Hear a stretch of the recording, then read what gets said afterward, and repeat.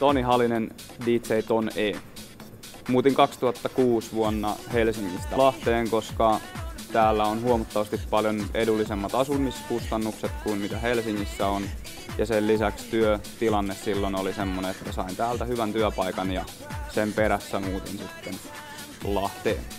Henkilökohtaisesti on sitä mieltä, että tietenkin asumiskustannukset on edullisemmat kuin muualla, esimerkiksi PK-seudulla, mutta sen lisäksi täällä on erittäin hyvät harrastamismahdollisuudet ja itse kun pelaan jääkiekkoa, niin todella paljon löytyy halleja ja niin sanottuja harrastuporukoita, missä pääsee sitten toteuttamaan tätä kyseistä lajia.